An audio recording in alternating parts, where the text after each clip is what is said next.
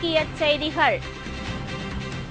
Two G spectrum licence வழங்குவதை ப சிதம்பரம் நினைத்திருந்தால் ஏலம் விட்டிருக்கலாம். பிரணாப் முகர்ஜி அறிவிப்பால் புதிய பிரச்சனை.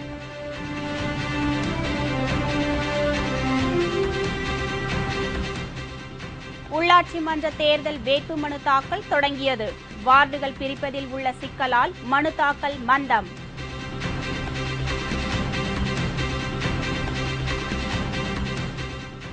திருவனந்தபுரம் கோவிலின் ஆறாவது அறையை திறக்கக்கூடாது. உச்சநீதிமன்றம் இன்று உத்தரவு.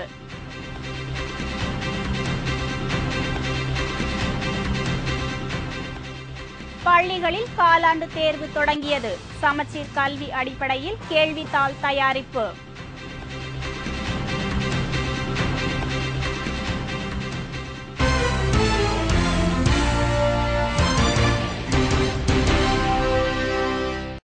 வணக்கம். விரிவான செய்திகள். அரசின் கொள்கை அடிப்படையில்தான் டூ ஜி அலைக்கற்றை ஒதுக்கீடுகள் நடந்துள்ளதாக மத்திய அமைச்சர் பிரணாப் முகர்ஜி பிரதமர் அலுவலகத்திற்கு எழுதிய கடிதத்தில் குறிப்பிட்டுள்ளார். டூ ஜி அலைக்கற்றை ஒதுக்கீட்டில் முறைகேடு செய்ததாக முன்னாள் மத்திய அமைச்சர் ஆர் ராசா கனிமொழி ஆகியோர் கைது செய்யப்பட்டு சிறையில் உள்ளனர். இந்நிலையில் அலைக்கற்றை ஒதுக்கீடு சம்பந்தமாக நாளுக்கு நாள் ஏதாவது ஒரு புதிய தகவல்கள் வெளியேறிக் கொண்டே உள்ளன.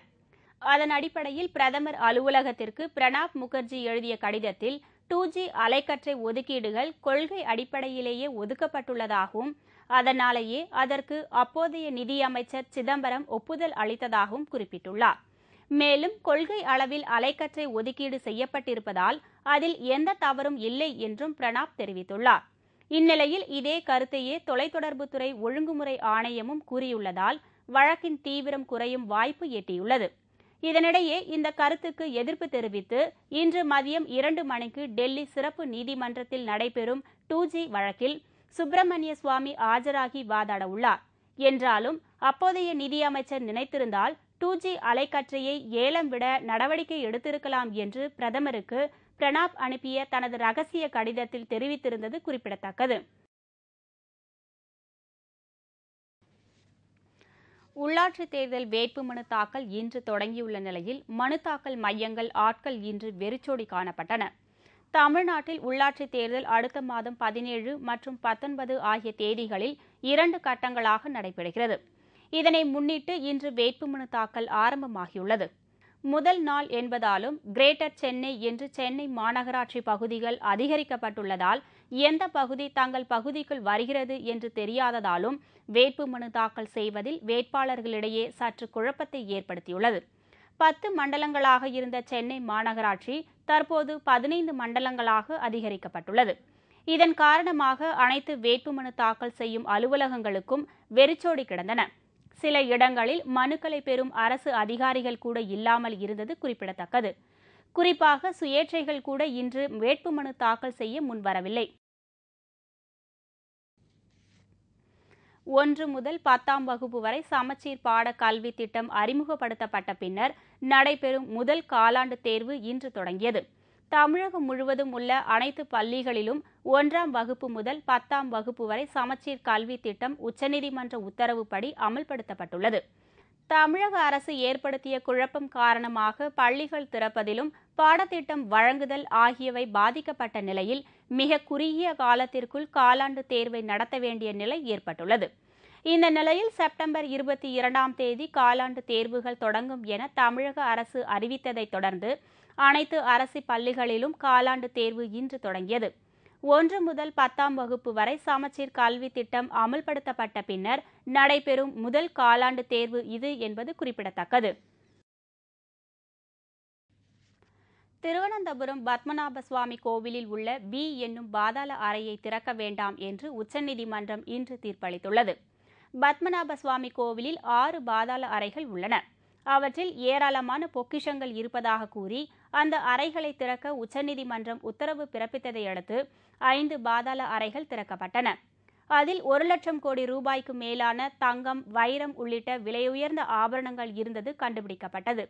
இந்நிலையில் பி என்று பெயரிடப்பட்ட அறையை திறந்தால் நாட்டிற்கு ஆபத்து வரும் என்று கூறப்பட்டதை அடுத்து தேவ பிரசன்னம் எனப்படும் ஜோதிடம் பார்க்கப்பட்டது. இதையடுத்து அந்த அறையை திறக்கக்கூடாது என்று கோவில் அறங்காவலர்கள் சார்பில் உச்சநீதிமன்றத்தில் மனு ஒன்று தாக்கல் செய்யப்பட்டது. அந்த மனு மீதான விசாரணை ஏற்கனவே முடிவடைந்த நிலையில் பத்மநாப சுவாமி கோவிலின் பி என்ற பாதாள அறையை திறக்கக்கூடாது என்று உச்சநீதிமன்றம் இன்று தீர்ப்பு வழங்கியுள்ளது. மேலும் கோயிலின் சுற்றுச்சுவர் மதிலை எழுப்பி பாதுகாப்பை பலப்படுத்துமாறும் உச்சநீதிமன்றம் கேரள அரசுக்கு அறிவுறுத்தியுள்ளது. திருச்சி மேற்கு தொகுதி இடைத்தேர்தலில் திமுக சார்பில் போட்டியிடும் கே என் நேருவின் சார்பில் மு க ஸ்டாலின் நாளை மனு தாக்கல் செய்கிறார். திருச்சி மேற்கு தொகுதி இடைத்தேர்தல் அடுத்த மாதம் பதிமூன்றாம் தேதி நடைபெறுகிறது. அதற்கான மனு தாக்கல் கடந்த பத்தொன்பதாம் தேதி தொடங்கியது. திமுக சார்பில் முன்னாள் அமைச்சர் கே என் நேரு மீண்டும் வேட்பாளராக அறிவிக்கப்பட்டுள்ளார். இந்நிலையில் நில அபகரிப்பு வழக்கில் அவர் கடலூர் சிறையில் அடைக்கப்பட்டுள்ளதால் சிறையில் இருந்தபடியே வேட்புமனுவை தாக்கல் செய்ய முடிவு செய்தார். அதைத் தொடர்ந்து கே. என். நேரு சார்பில் மு. க. ஸ்டாலின் நாளை வேட்புமனு தாக்கல் செய்கிறார்.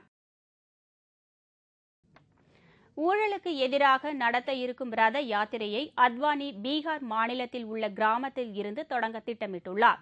லஞ்ச ஊழலுக்கு எதிராக நாடு முழுவதும் ரத யாத்திரை நடத்தப்போவதாக பாஜக மூத்த தலைவர் எல். கே. அத்வானி ஏற்கனவே அறிவித்திருந்தார்.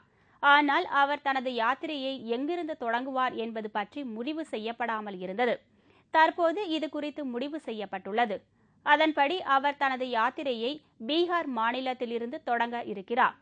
காலஞ்சென்ற சர்வோதயா இயக்கத்தை தலைவர் ஜெயபிரகாஷ் நாராயணுக்கு மரியாதை செலுத்தும் விதமாக அவரது சொந்த ஊரில் இருந்து அத்வானி தனது ரத யாத்திரையை தொடங்க திட்டமிட்டுள்ளார். இது தொடர்பாக செய்தியாளர்களை சந்தித்த பீகார் மாநில பாஜக தலைவர் சி பி தாகூர் பீகார் மாநிலத்தில் ஜெயபிரகாஷ் நாராயணன் பிறந்த சீதா தியாரா கிராமத்தில் இருந்து அவருக்கு மரியாதை செலுத்தும் விதமாக அத்வானி ஊழலுக்கு எதிரான ரத யாத்திரையை அடுத்த மாதம் பதினோராம் தேதி தொடங்க முடிவு செய்துள்ளார் என்றும் இதில் பீகார் மாநிலத்தை சேர்ந்த பாஜகவினர் ஏராளமானோர் கலந்து கொள்வார்கள் என்றும் தெரிவித்தார்.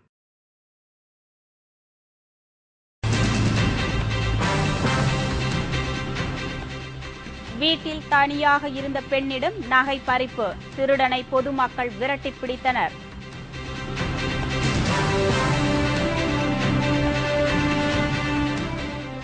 நான்கு கோடி ரூபாய் சொத்து அபகரிப்பு புகார். காங்கிரஸ் பிரமுகருக்கு பதினைந்து நாள் காவல். மற்றும் பல செய்திகள் விளம்பர இடைவேளைக்கு பிறகு.